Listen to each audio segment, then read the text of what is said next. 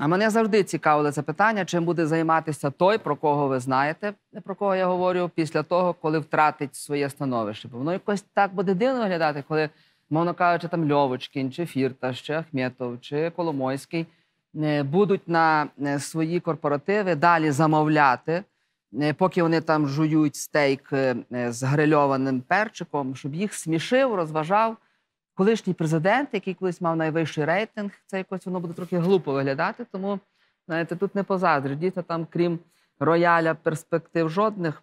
Ну, але мушу вас засмутити. Це не скоро станеться. Я не зрозумів і не розумію цього оптимізму е, після оприлюднення свіжих е, цифр, свіжих рейтингів. І, власне, ті цифри попрошу вивести на екран, щоб ви теж зрозуміли, що я маю на увазі. Отже, Якщо би завтра відбулись вибори, трійка лідерів рейтингів от виглядає таким чином: Зеленський 44, Бойко 13 і Порошенко трошки менше.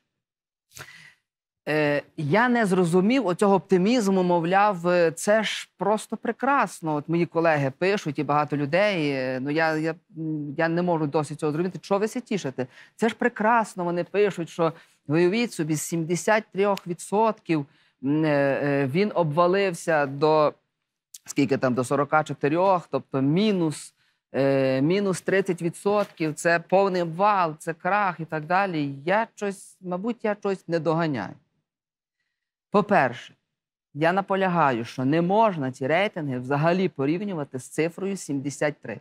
Тому що цифра 73 це є цифра другого туру.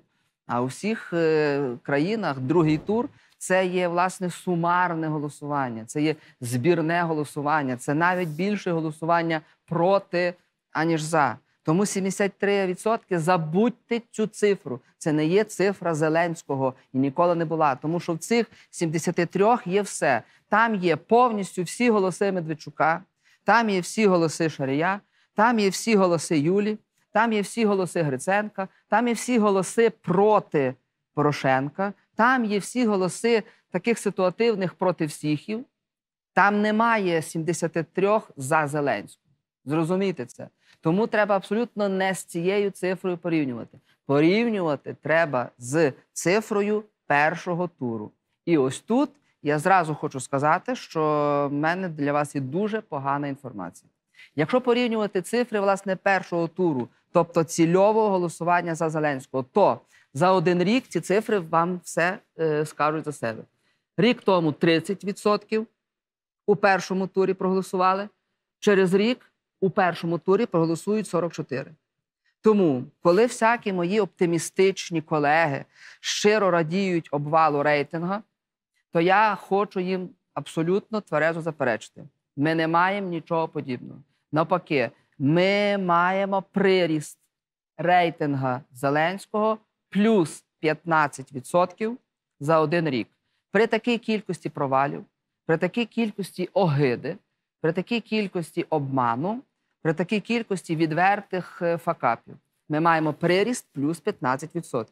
І тому я власне кажу, що ми опинилися в абсолютно унікальній історичній українській ситуації, коли у нас з'являється і з'явився вже на політичній арені фігура, яка має ядерний електорат поза 40%.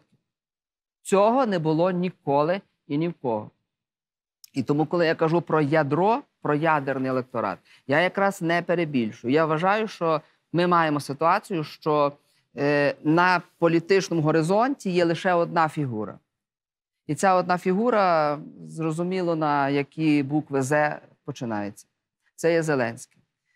Трьохкратний відрив від найближчого. Це означає, що йому падіння ніяке не страшне, тому не тіштеся. Там немає падіння, там є приріст власне свого малоросійського ядерного електорату.